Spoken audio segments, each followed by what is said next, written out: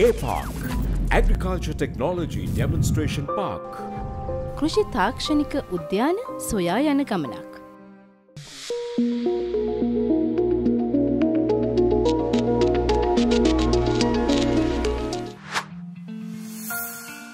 කෘෂි පාරිසරික කලාප DL3වලට අයත් කිලිනොච්චිය වේලි කලාපයේ රත්තු කහ ලැටසෝල් පස ප්‍රධාන වෙනවා. මුහුදු තීරයේ ආසන්නේ වැලිමය වයනයකින් යුතු රෙගොසෝල් පස දැකිය හැකි. මිලිමිටර් අටසීක පමණ වාර්ෂික වර්ෂාපතනයක් ලැබෙන මෙම ප්‍රදේශයට යල්කන්නේදී වැස්ස අඩුයි. ඔක්තෝබර් සිට දෙසැම්බර් දක්වා කාලය වැසි ලැබෙන කාලසීමාවක් ලෙස සඳහන් කළ හැකි.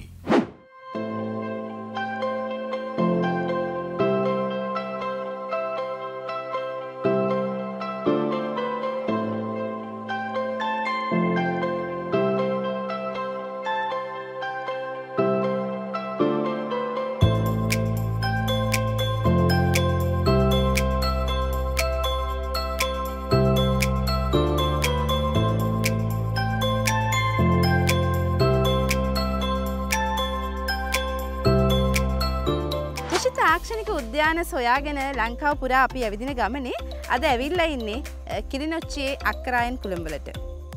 සාමාන්‍යයෙන් තෙත් කලාපේ අතරමැදි කලාපේ අ, වඩාත් ප්‍රචලිත වගාවක් වෙන වැල් දොඩම් නැත්තම් පැෂන් ටූටන් ඉතාමත් සාර්ථකව වගා කරන වගා ශේෂත්‍ර කිහිපයක් අ, නොයසේ නම් අ, ගොවීන් සිය දෙනෙක් අක්කර පණහක ශේෂ්ත්‍ර පුරා වගා කරලා තින ආකාරය අපි හරි අපූරුවට දර්ශනය කරගන්නවා.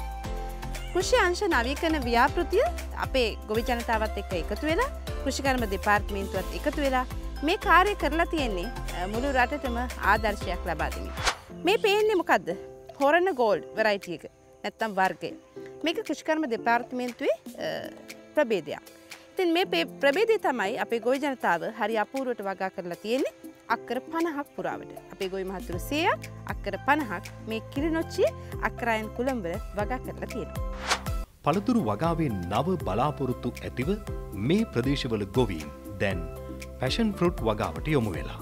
කෘෂියංශ නවීකරණ ව්‍යාපෘතියේ මඟ පෙන්වීමක් පළාත් කෘෂිකර්ම දෙපාර්තමේන්තුවත් එක්ව අද වගාව සාර්ථක තැනකට පත් කරගෙන. ඔවුන් අද ආදායම් ලබමින් සාර්ථකව වගාවේ නියලෙනවා. පෙසුමරටකට ඒSMB ප්‍රජෙක්ට එකට තමයි ආවේ. ඒ කොඩා කටියකට මේ කටිසියකට දුන්නා. එයාට දුන්න මම මට මේ දැල් තලයක් අර මේ පැප් ඇතේ ගම්බි ඔක්කොම එයා දුන්නා. මට ඒ උදව කර. ඒ කොඩක් ඒද මට තව එනවා කිව්වා. තව පනා කටියකට එනවා කිව්වා. ඒ ලාබා එනවන. ඒ සන් මාකෙට එකට කොඩක් දෙන්නට පුළුවන්. ඒමයි ඒ කියන්නේ ඇත්තටම මේ මයුරුදරන් මන්දිලා එක්කෙනෙක් අක්කර භාගයේ බැගින් අක්කර 50ක් ඔව්. සිය දෙනෙක් එකතු වෙලා වගා කරලා තියෙනවා. ඔව් කියන විදිහට කෘෂියංශ නවීකරණ ව්‍යාපෘතිය තමයි ඔවුන්ට මේ සඳහා මූල්‍ය දායකත්වය ලබා දීලා ආධාර ලබා දීලා අ, තාක්ෂණීය කෘෂිකර්ම දෙපාර්තමේන්තුවෙන් ලබාගෙන මේ විදිහට වගා කටයුතු කරන්නේ. ඉතින් මේ විදිහ තවත් අපේ මහ ගොවි මහත්තුරු සිය දෙනෙක් අක්කර 50ක් වගා කරලා තියෙනවා. අපි ඒගොල්ලත් එක්ක කතා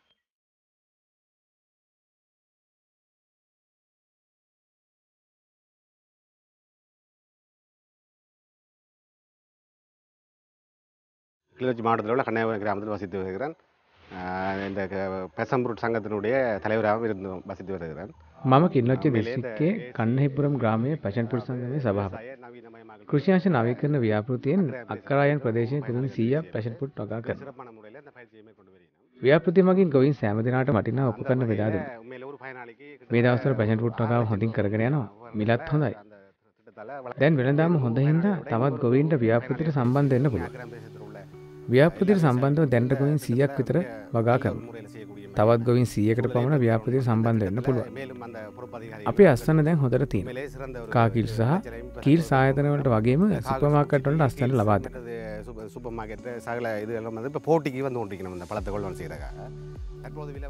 තැන්න කිලෝ එකක් රුපියල් දෙසිය විස්සකට අලව කරන තා මාසක රුපියල් හාරසියකරිතර අලව කරන්න පුළුවන් වේ කියලා හිතන අපි ව්‍යාපෘතියෙන් ඉල්ලුවේ අපට සැකසුම් මධ්‍යස්ථානයක් ලබා දෙන්න කියලා. එතකොට තවත් අපේ ගොවින් තියකට හතලිහකට විතර රස්සා ලබා දෙන්න අපිට පුළුව ඔවුන්ට එතකොට ආදායමක් උපයා ගන්නත් පුළුව හෙක්ටයාරයකට සාමාන්‍ය අස්වැන්න ටොන් දහසයක් විස්සක් පමණ වන හොරණ ගෝල්ඩ් ෆැෂන් පොට් හොඳින් කප්පාදු කර පුහුණු කළ නඩත්තුවෙන වැල්වලින් හෙක්ටයාරයකට ටොන් පණහක් දක්වා අස්වෙන්න ලබාගත හැකි බව පර්ේෂණංශ පවසනවා. අස්වනු නෙලීමෙන් පසු පාර්ශවික ශාකා රිකිලි කප්පාදුව ඉතා වැදගත්.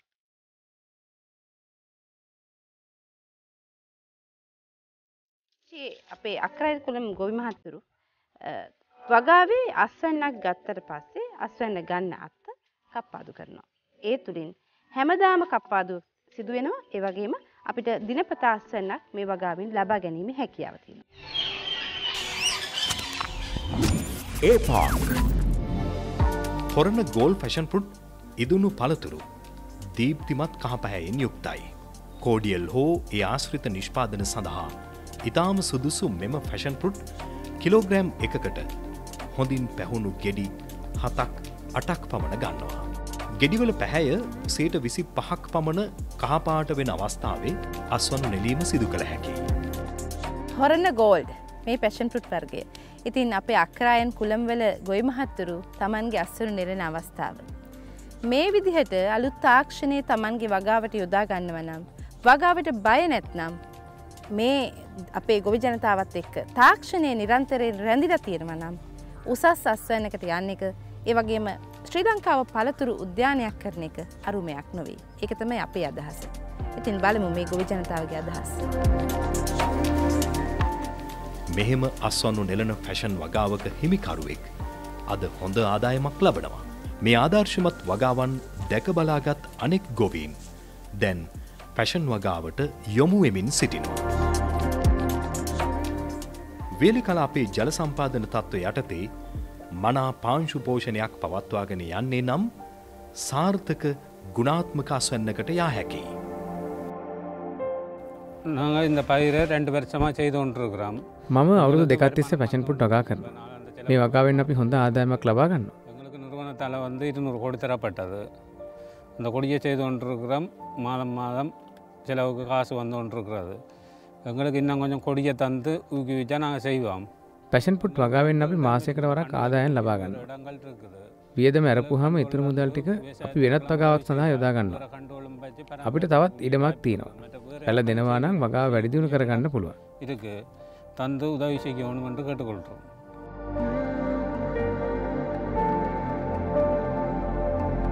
விவசாய நவீனமயமாக்க திட்டத்தின் வந்து மொபைலைசிங் ஆஃபீஸராக இருக்கிறேன் මම කෘෂිකර්ම නවීකරණ ව්‍යාපෘතියේ කෘෂිකර්ම සජීවීකාරකවරෙක් වශයෙන් වැඩ කරනවා. ව්‍යාපෘතියෙන් ගොයින් පනස් දෙනෙක් තෝරා ගත්තා. එක් ගොවියකට ලක්ෂ පහක් වටිනා ද්‍රව්‍ය අපි ලබා දුන්න. ப்ராஜெக்ட் வந்து வழங்கப்பட்டிருக்கு அதுங்கள வந்து வாட்டர் பம்ப் ட்ரிப் இரிகேஷன் மற்றது வந்து அயன் பைப் තවත් අපට ව්‍යාපෘතියෙන් පැෂන් පැල යකඩ පයිප්ප වතුරමෝටර් නෙට් කප්පාදු කට ලබා දුන්නා. ප්ලාස්ටික් කුඩත් දුන්නා. ගොවින් පනස් දෙනෙක් එකතු වෙලා ප්‍රශන්පුට් සමිතියක් පිහිටවාගෙන එකමුතුව වගාව දැන් හොඳට කරගෙන යන. பேஷன் ப்ராஜெக்ட் கல்டிவேட் பண்ணுற மாதிரி வருது இது இது இதன்படி ප්‍රදේශයේ ගොවින් සීයක් අක්කර භාගයක් බැගින් ෆැෂන් වගාව කරලා. වගාවට අවශ්‍ය යෙදවුම් කෘෂියංශ නවීකරණ ව්‍යාපෘතියෙන් ලබාදීලා. බලන්න දැන් මුළු ගම්මානයම ෆැෂන් පෘට් උද්‍යානයක්. ඔක්කම ෆාමස්ලා මාසයකට කැම ෆාමස්ලා 40,000 ඉන්කම් එක කැම මාසම ගන්නවා එයාලටයි ඉන්න ඔක්කම මිනිස්සුටයි දෙන් කැමැති වෙලා ඉන්න. එහින්ද එයාලා අපි දියපුට වැඩියම එයාලා එයාගේ කොස්් දාලා වැඩි කරන්න කැමැති වෙලා ඉන්නවා. දැනට පෂන් පෘට් කිලෝ එකක් දෙසී පනකට එයාලා ගන්නවා. අපි කැම ෆාමස්ලාටම කියනවා කොමද ඒක කපත්තු කරන්න ඕනේ කොමද පෝර දාණ්ඩෝනේ කාබනික පොර මොන මොන දාලා කොමද මික්ස් කරලා කාමනික පොද කොමද හදන්න කියර තියර පොර කොමද ස්ප්‍රේ කරන්න ඕනේ කැම මාසටම කැම සතියට කොමද ස්ප්‍රේ කරන්නේ ඩයිලූෂන් කොමද කියල ඔක්කම යාලට කියල දෙනවා. ඒක කියල දෙන්න ඒක එයාලා ඉගෙන ගත්තම එයාලා කරනවා. එකෙන් ඊල් දෙක වැඩියෙනවා එයාලා ගැත්ත කිල්නොච්චි වලින් එයාලා සක්සස්ෆුලි ප්‍රෝග්‍රම එක යනවා.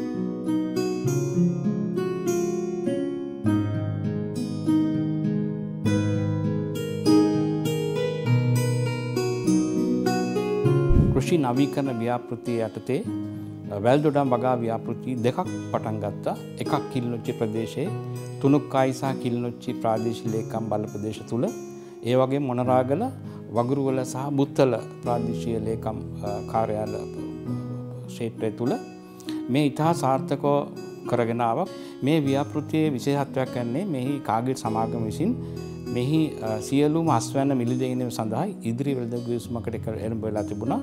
කෘෂි ව්‍යාපෘතිය යටතේ ඔවුන්ට අවශ්‍ය උසස් තාක්ෂණින් යුත් බින්දු වාරිමාර්ග පද්ධති සහ අනිකුත් උපකරණ ලබා දීලා ව්‍යාපෘතිය කරගෙන ගියා. කාගිල් සමාගම ඉදිරි වෙළඳ ගිවිසුමක් යටතේ මේ සියලුම ගොවයන්ගේ අස්වැන්න මිලදී ගත්තා. මේ ගස් අරගන්න අස්වැන්න අපි නැවුම් පළතුරු හැටියට සුපිරි වෙනසල් ජාලය හරහාත් පහනදත්තාවට අලවි කරා ඒ වගේම වැඩිමනත් ප්‍රමාණයක් අගේ එකතු කිරීම සඳහා අපේ කිස් නිෂ්පාදන සඳහා කිස් නිෂ්පාදන ජෑම් කෝඩියල් සහ අනි නෙක්ටාවර්ග සඳහා මේ පළතුරු පාවිච්චි කර. ඇත්වසෙන් මේ ඉතා සාර්ථක ව්‍යාපෘතියක් වුණ. අපි සියලු මස්වන්න ගොයි මහත්තුගේ මිලදී ගත්තා. ඉතින් මේ තුළින් ගොයි මහත්තුන්ගේ හොඳ හොඳ ආදායමක් ලබල උන්ගේ අතුමට සරුණා විශේම ලෝක බැඳ ආධාරය අටසේ පවතු ව්‍යාපෘතිය ඉතා පලදායි ව්‍යාපෘතියකට